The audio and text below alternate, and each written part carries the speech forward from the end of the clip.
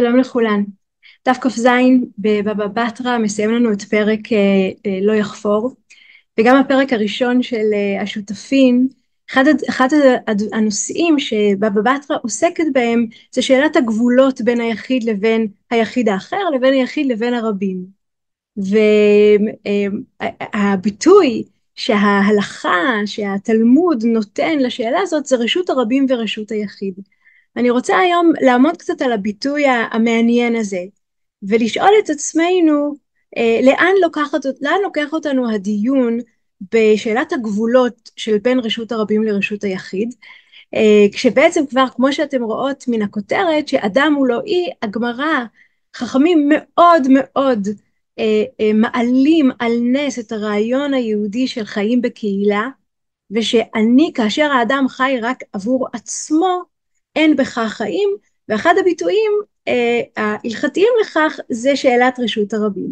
אז בדף שלנו בדף כ"ז אומרת המשנה אילן שנוטה, שהוא נוטה לרשות הרבים קוצץ כדי שיהיה גמל עובר ורוחבו. זאת אומרת אם יש לי עץ שגדל בגינה שלי וענפיו יוצאים לרשות הרבים החובה שלי לקצוץ אותו היא כדי שהוא לא יפריע לאנשים שעוברים בסך ללכת וכאן הגמרא המשנה נותנת לנו גמל כלומר זה, זה אה, אה, אה, בעל חיים גבוה כולל הרוכב שלו זאת אומרת בצורה כזאת שהמרחב הציבורי פנוי גם לנקודת אה, הקצה של רוכב על גמל כדי שיהיה פנוי. אה, השאלה הזאת של המשנה מתבררת גם אה, בסוף פרק, הפרק הבא שאנחנו נתחיל אותו פרק חזקת הבתים ואני מביאה אותו כאן כי הוא בעצם אה, אה, סוגר את, הרעיון שלנו שמתחיל כאן במשנה בדף, בדף כ"ז והגמרא בבבא בתרא דף ז' שכמו שאני אומרת זה סוף חזקת הבתים מספרת על רבי ינאי שהיה לו אילן שנטע לרשות הרבים. והיה שם עוד איש אהבה האו גברא דהבה לנמי אילן הנוטה לרשות הרבים. והיה עוד אדם כן שהאילן שלו נטע לרשות הרבים והבו כמאק וילווה, זאת אומרת, ו, וזה היו מתלוננים על, על האילן, והסיפור ממשיך, אה, אה, הבאתי רק את, כן לא הבאתי את כולו, אבל הסיפור ממשיך ואומר שלפני שרבי ינאי שלח אנשים להגיד לאותו איש לקצוץ את האילן שלו, הוא קצץ את האילן שלו עצמו, וכשתלמידים באים ואומרים לו למה עשית את זה?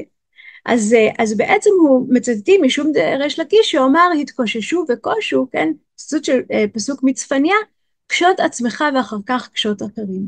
כלומר כל הרעיון של רשות, של רשות הרבים זאת אחריות שנופלת על הפרט ומה שאני רוצה שאחרים יעשו עבור אה, כן אה, רווחתי אני חייבת לעשות, לעשות גם. כלומר לפני שאנחנו רוצים להגיד לאחרים אתם צריכים לעשות א' ב' ג' ברשות של כולם אני כמובן צריכה קודם כל לעשות את זה על עצמי וזה, וזה סוגר לנו או, או מבהיר לנו את התמונה של רשות הרבים שהאחריות על רשות הרבים בעצם יושבת על ההסכמה של, של הפרטים לפעול פעולה שלפעמים היא אלטרואיסטית אפילו, לפעמים היא לא נוחה, אבל עבור, עבור הטוב המשותף של כולנו. אמ, הביטוי רשות הרבים פגשנו אותו לראשונה במסכת שבת שהגמרא שם אומרת אה, ארבע רשויות לשבת רשות היחיד ורשות הרבים החרמלית הוא מקום פטור פטור. אנחנו לא כמובן לא אכנס להסביר כל אחד ואחד מכאן אבל אני רוצה שנראה כיצד חז"ל מבינים שבתוך המרחב שבו אנחנו חיים יש מקום שבו הוא רק שלנו שזה רשות היחיד. אבל יש מקומות שהם אה, המקומות האפורים של מה ששייך לפרט ומה ששייך ליחיד ויש מקומות שגם רמת האחריות של היחיד או הרבים עליהם היא שונה. והרעיון הזה של, של רשות הרבים הוא רעיון חשוב כן שהתלמוד אה, אה, מציף אותו כדי לומר רשות הרבים זה לא מקום הפקר זה לא מקום שכל אחד עושה בו מה שהוא רוצה משום שיש לזה השלכות בעצם על איך אנחנו חיים בקהילה, ואולי הדוגמה המפורסמת ביותר גם שראינו בבבא קמא, זה לא יסקול אדם מרשותו לרשות הרבים. כאשר אני מסכלת את החצר שלי או את הגינה שלי או את השדה שלי מאבנים, אני מעבירה את האבנים שלי ממקום, מרשותי ואני זורקת אותם החוצה, כי כביכול למקום שלא שייך לי, אומרת הגמרא לא יסקול אדם מרשותו לרשות הרבים, מביאה את הסיפור המפורסם, מעשה באדם אחד שהיה מסכל מרשותו לרשות הרבים, ומוצאו חסיד אחד ואמר לו, ריקה, מפני מה אתה מסכל מרשות שאינה שלך? לרשות שלך? כן, זאת אומרת, יש כאן, אה, יש כאן אמירה מאוד מבלבלת, ולכן אותו אדם מלגלג עליו, כלומר, אני עושה בדיוק הפוך, אני מסכל מהרשות שלי, כביכול, לרשות הרבים, וכשהחסיד אומר לו, אתה, זה בדיוק הפוך, אתה מסכל מהרשות שלא שלך לרשות שהיא שלך, הוא בעצם מעביר לו את המסר, שמה שאנחנו חושבים שהוא שלנו, כן, הבעלות שיש לנו, היא לא באמת שלנו, כן, קיבלנו את זה בירושה, קיבלנו את זה מהקדוש ברוך הוא, כן, ההבנה העמוקה שבואו רגע נבין שגם מה שאנחנו חושבים שהוא שלנו, הוא לא באמת שלנו, הוא פיקדון, הוא השאלה, הוא באחריותנו, אבל מה שבאמת שלנו זה מה שאנחנו משותף לנו עם אחרים, ואם אנחנו נזלזל בזה, בוודאי ובוודאי שזה יזלוג גם לתוך רשות הפרט, לרשות הפרטית שלנו, ממשיכה הגמרא ואומרת שם בבבא קמא, לימים נצרך למכור שדהו. והיה מהלך באותה רשות הרבים ונכשל באותן האבנים. אמר יפה אמר לי אותו חסיד, מפני מה אתה מסכל מרשות שאינה שלך לרשות שלך. רשות הרבים תמיד תהיה רשות הרבים. אנחנו עם הרשויות שלנו, הרשות הפרטית, לפעמים אומר, כן, אומר אותו סיפור, הדברים הללו של משהו באמת שלנו יכול להשתנות, ואם אנחנו נדאג למרחב הציבורי, בוודאי ובוודאי שתמיד נוכל ליהנות ממנו, ואם נפגע בו, אנחנו גם יכולים אה, להיפגע ממנו.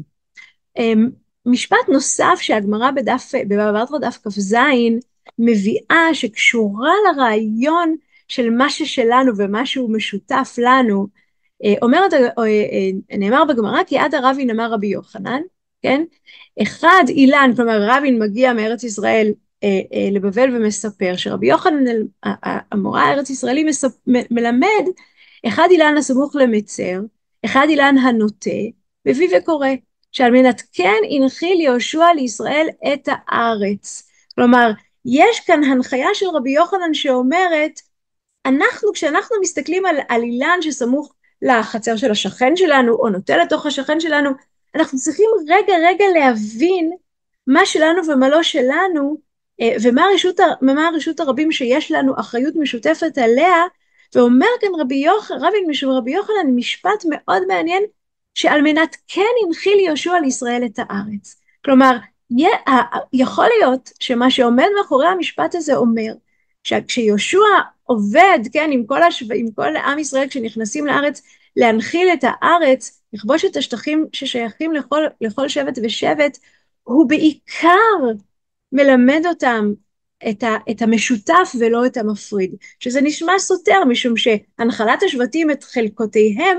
זה לכאורה הגבול, כן, להבנת הגבול של מה של שבט, מה של שבט אה, אשר ומה של שבט זבולון ומה של שבט יהודה ומה של שבט בנימין, אבל יש כאן אמירה שהיא יותר פותחת, והרב דב ברקוביץ' בספרו הדף היומי, אה, כשהוא כותב את ההקדמה לתקנות של יהושע בן נון, הוא, הוא אומר בלשון מאוד, מאוד יפה, שעשרה התנאים שהגמרא מייחסת ליהושע בן נון עוסקים בעיקר בשינוי הדרמטי המתחולל בחיי העם במעבר משנים של שהייה במדבר, אל אתגרי, אתגרי ריבונות והישרדות כלכלית בארצו. במדבר אין משמעות לרשות, לרשות היחיד ורשות הרבים באמת, משום שהמדבר הוא איזשהו הפקר גדול שהגבולות בו מטשטשים, וגם האחריות כמובן של בני ישראל במדבר הייתה מאוד מאוד מצומצמת, הם קיבלו הכל משמיא. אז כשנכנסים לארץ ישראל צריך ללמוד להיות ריבונים, וקיים חשש אמיתי שדווקא צורכי פרנסה מעיקים ובניין נחלות כל אחד במשפחתו ובשבטו יביאו לפירוד בין מי ששכן עד עתה במחנה אחד סביב משכן השם. אותה חוויה של שכנות משותפת, של לגור אחד עם השני, כן, סביב משכן השם, יש סכנה שכשנכנסים לארץ וכל אחד עסוק ברשות היחיד שלו, כן, במשפחה ובשבט, זה יפורר את הרקמה האנושית שהיא הרבים שהיא הכלל של עם ישראל. ותקנות יהושע קובעות שיחד עם חלוקת הארץ לנחלות פרטיות, יש חובה לשמור על יסוד השותפות הבסיסית של העם, הנחלת הכלל שבארץ המיוחדת, כן? וזה כל כך יפה, שבעצם זה שוב אומר לנו, תקשיבו, אומר, אומר, אומר יהושע בתנאיו, על כן הנחיל יהושע, משום כך הנחיל יהושע את הארץ, והמושג של רשות הרבים, אם אנחנו נת, נשתבלל ברשות הפרט שלנו, אנחנו מאבדים את היחד, שהוא בעצם זה שעוזר לנו להבין שאנחנו חלק מעם אחד, ולא פרטים פרטים אה, שכל אחד בתוך, אה, בתוך הנחלה שלו. אה, והמדרש המפורסם בתנחומה, שמדבר על כי תבואו אל הארץ ונטעתם, אמר להם הקדוש ברוך הוא לישראל, אף על פי שתמצאו אותה מלאה כל טוב, לא תאמרו נשב ולא ניטע, אלא הבוז יורים בנטיעות ונטעתם כל עץ מאכל, כשם שנכנסתם ומצאתם נטיעות שנתנו אחרים, אף אתם יהיו נותנים לבניכם.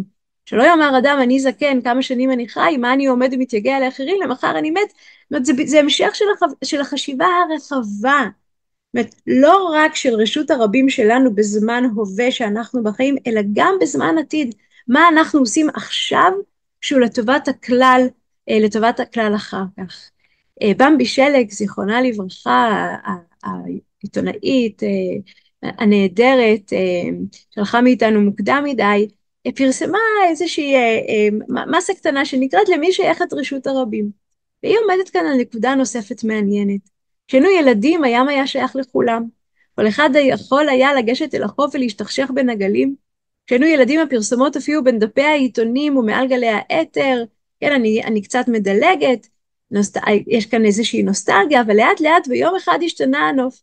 כמעט בלי שנשים לב, מישהו תחם את הים, מישהו גדר לו חוף פרטי, מישהו ארגן לו לעצמו חוף. שאפשר להיכנס אליו רק בתשלום, מישהו קיבל זיכיון לכביש פרטי, הפרסומות השתלטו על הכבישים, על המדרכות, על הבניינים וכולי וכולי וכולי. הנוף העירוני הפך לשבוי בידי גורמים כלכליים, הבעיה היחידה שמעוררת את כל התרחשויות האלו היא שלא שאלו אותנו, הציבור, אם אנחנו מסכימים. החליטו בשבילנו. ובכך, בלי לשאול אותנו לדעתנו, השתלטו על רכוש ועל זכויות שהם שלנו, של הרבים של הקולקטיב של הציבור. כלומר, היא מעלה כאן שאלה אקטואלית של שאלת רשות הרבים, האם באמת, כן, מישהו רגע שואל את הרבים שהרכוש הציבורי שייך להם, מה אתם רוצים שיקרה? וכמו שראינו, הגמרא מלמדת אותנו שזה חשוב מאוד מאוד מאוד.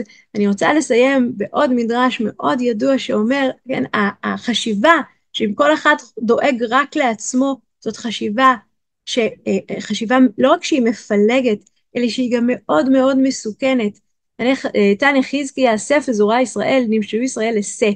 מה שא הזה לוקה על ראשו, או באחד מאיבריו וכל איבריו מרגישים, כך ישראל, אחד מהם חוטא וכולן מרגישים, שנאמר האיש אחד יחטא, תני רבי שמעון בן יוחאי, משל לבני אדם שהיו יושבים בספינה.